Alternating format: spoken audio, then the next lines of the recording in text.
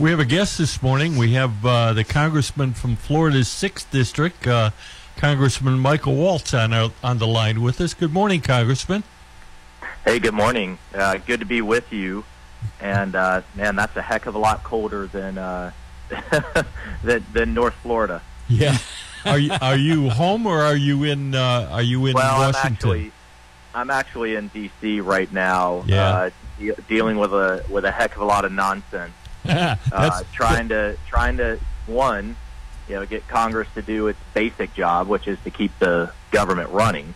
Uh, but then number two, uh, negotiating this uh, this cor- coronavirus relief deal. yeah. So, so let's start with number two because that's probably closest to most people's heart. That's right. Where's, where's my check? Yeah. where where do we stand on that, Congressman? Well, I, I got to tell you, it's frustrating. You know, I'm a I'm a Green Beret by background, and uh, fought over the world for all around the world for 24 years. And uh, some days I think Afghanistan's easier than No, than, than, DC. That's an analogy. yeah, right. Well, look, that, that- here's the most frustrating piece: is uh, Speaker Pelosi has been sitting on 138 billion dollars uh, that's left over unused for the Paycheck Protection Program, the small business program from the last coronavirus relief deal uh, last spring. Uh, unused, sitting there in the Treasury, ready to go. We've tried 19 times to get her to set aside, you know, her her progressive progressive wish list, and uh, just cleanly pass that and allow businesses another bite of that apple. Uh, so, paycheck protection is a big part of it. Uh, there's some new rules there for small businesses. If if everything goes through, it'll it'll drop from 500 to 300, and uh, there'll be some some testing. You have to really show you had some revenue loss to prevent people from don't you know who who shouldn't get it from getting it. So th- look, that's a piece. Individual stimulus uh, is uh, is a piece. Uh, your check is coming, but it, it, it will be smaller than the 1200. We, I don't think they've settled on the number yet. And then a lot of money for getting the vaccine out, right? And uh, protective equipment for schools and other pieces there. What we've dropped, fortunately, is uh, the bailout money for a lot of blue states who have mismanaged their funds. But as part of the negotiation, we also dropped on our side the liability protections for, for businesses. That's where it sits. I haven't seen it yet. This will be the second largest uh, bailout package, you know, in American history, and yet we still haven't seen actual text from the speaker, which is also very frustrating. But we're we're we're pushing forward. Do you think we're going to get a vote um, before the weekend, or will it extend into next week?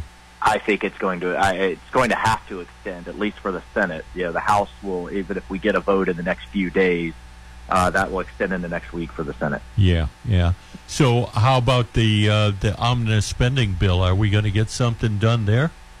Well, and, you know, government government funding runs out tonight. You're right. So we're going to get something done, uh, but I, what I think they're going to do is another short-term, you know, kind of band-aid, what they call a, a, a continuing resolution.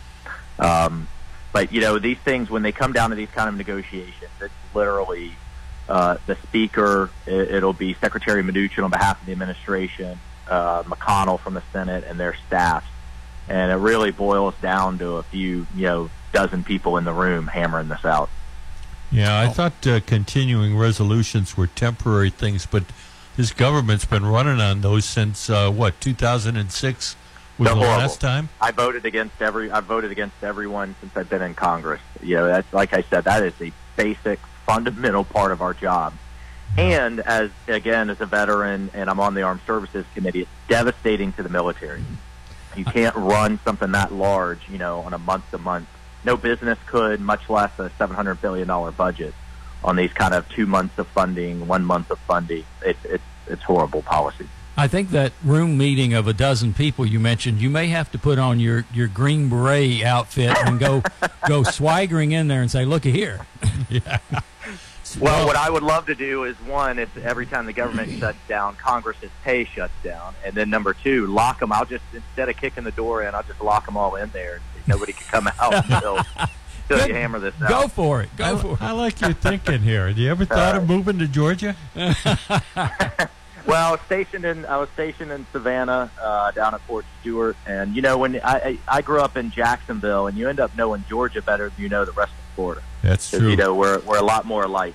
Well, then I'm sure you know that we have a, a pretty uh, important uh, runoff election for our two Senate Oh. seats in Georgia. You had to bring that up. Yeah, I did. so uh, You guys haven't been talking about that much yet. No, Uh, no, we just right? it's Yeah. breaking news. We just found out. Um, where where do you stand on that one? Well, you know, I have a really uh, a- a unique uh, and frustrating view. All of your members of the uh, of the House of Representatives do, and that we see the craziness that the Squad uh, and Pelosi pass out of the House. I mean, they pass it over our heads. We vote against it, but they pass this stuff out of the House. But the Senate never takes it up. It just kind of dies there because uh, you know uh, McConnell and the Republicans decide what's on their agenda. So things like uh, that will all change though if they get these two seats, if they get these two Georgia seats. Uh, they will eliminate the filibuster, which requires 60 votes, down to 51, so that Vice President Harris will be the tiebreaker. And this progressive stuff will just start flying out of Congress right off of Biden's desk into law.